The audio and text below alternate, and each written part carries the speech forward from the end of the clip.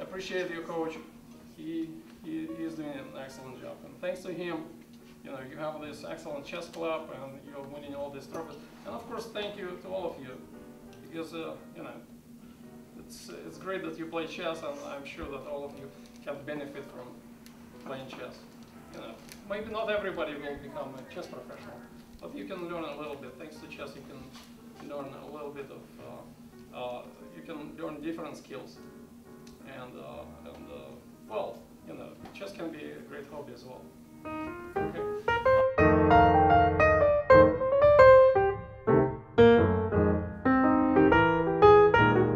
If